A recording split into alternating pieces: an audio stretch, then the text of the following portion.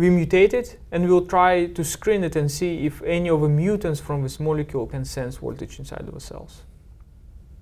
Uh, library was up to 10 millions, up 10 millions individual clones.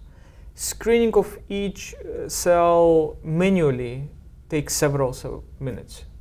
So it means I wouldn't be able to finish probably the screening of this library till nowadays if I start doing it manually. Mhm. And Ed uh, was saying, "Oh, how about we just make robot to do it for us?" Mhm. And uh, this is how we end up designing a special robot that uh, can s- image very large population of cells Mhm. automatically, pick the best cells expressing the voltage sensing molecule, uh, and select it using a micropipette, and everything in a, in automated mode, in fully automated mode.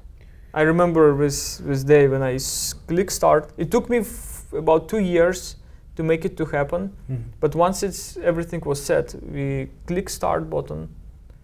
Robot did it for us for two hours while I was drinking coffee. At the end of this process, I take the tube with a few cells selected from the plate. I cloned the genes, and one of them was the, the Archon uh, voltage sensor that we're currently using for voltage imaging in vivo.